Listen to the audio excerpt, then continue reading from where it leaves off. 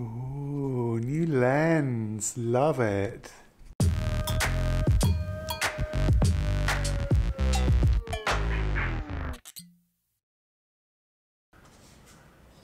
Action.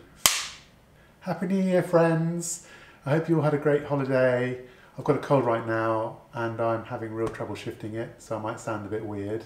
I got a new zoom lens for Christmas. Yay! It's awesome.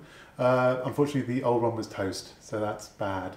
Uh, so last year I did lots of castings, some electronics, a few paintings, and a few other more random projects too. And the channel got a lot bigger. And I think 2020 is going to be a good year too. I've got so many project ideas lined up. The difficulty is going to be finding the time to do them all. There's my safe cracking robot. I hit a roadblock with that previously and I put that aside for six months or so, but I might have found a solution for that. So I'll be making some videos about that soon. I've got lots of patterns ready for new castings and when I'm a bit better, I'll be able to start those. What might this be? Oh, is it a tiny weeny cannon? oh, I'm super excited by this. So because it's really chunky, this is going to be an interesting one to cast. I think I'm going to cast it uh, upright. Traditionally cannons are cast upright like this so that any shrinkage happens in the in the bore. But we'll see, it's only a weeny one, even though it's pretty, you know, it's pretty girthy for a casting. Uh, but I've got a feeder thing here, and I've got and I've got a kind of a unique, very long split pattern sprue system. So that'd be an interesting one.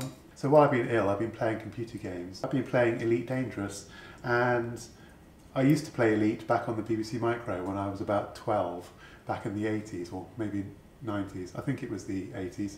So this is a little spaceship from Elite.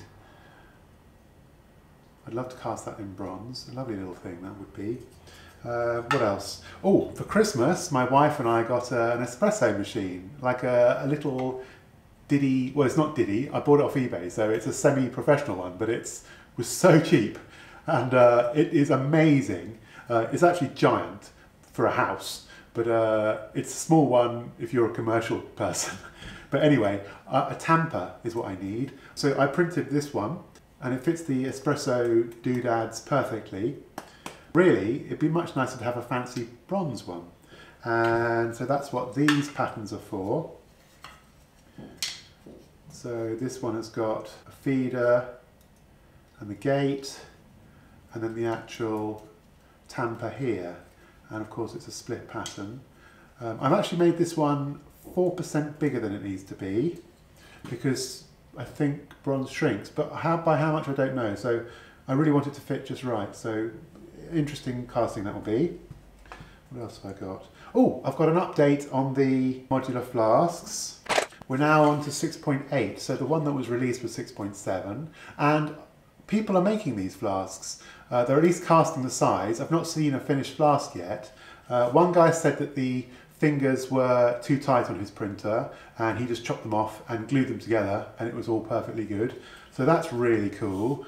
Some other person said, oh, it's been a while and I'm not very well, so I apologise if I can't remember what people said. I'm so chuffed, people are actually printing these things and they're going to try and make flasks with them, so that's brilliant. So this is 6.8. 6.7 is this one. As you can see, I've got Wargrade's corner pieces in the 6.8 and the ribs are even more reduced. So they're even flatter here uh, which means the handle is more reduced which probably means less shrinkage. And oh I can't remember who it is. I'll put your name up on the screen if I can find you. But someone came up with such a great idea. It seems obvious now because I put them like this in the mold I have to dig out this bit of sand well I've 3D printed some followers and what they do you see here on this uh, on this corner piece there's two little holes there and there are two little holes there and they, there are pins that fit. You put that on the bench and then that using the pins and then you you fill it with green sand as per usual and when you flip it over instead of having to dig out these end pieces you just remove this little follower piece and you've got a perfectly wedge shaped hole. That will save a lot of time So that is awesome. So this is the 6.8 version. So that's really exciting. You guys might not remember, but a long time ago I tried to make some axes and they were terrible. The only one I managed to complete was the, was the Ragnar Lothbrok one. And I'd like to go back to the Saxon axe and redo it because I would love to get this, I love the shape of it and I would love to get a nice casting, a nice bronze axe.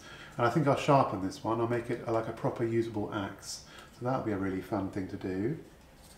Oh, I can't wait for this. This is going to be so cool.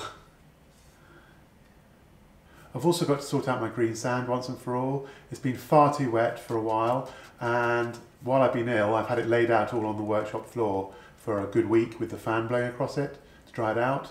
A muller is what I really need, but until that happens, I've got myself a heavy duty tarpaulin to mix and condition the sand with, uh, with my feet. Something I've been doing by hand up until now. I've got at least two casting collabs in the pipeline. I can't divulge details yet, but I'm really looking forward to those.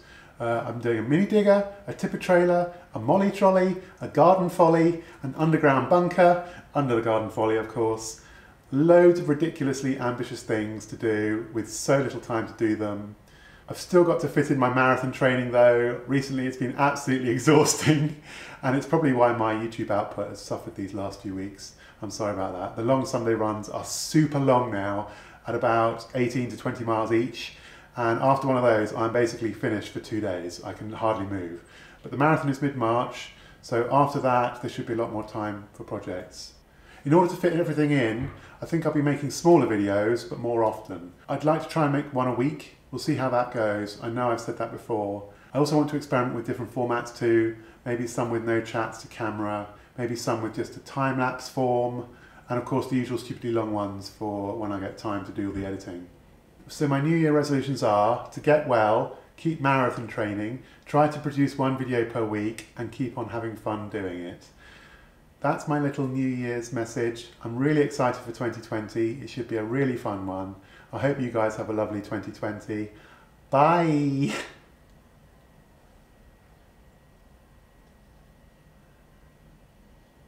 Right, a bit awkward now. Bye.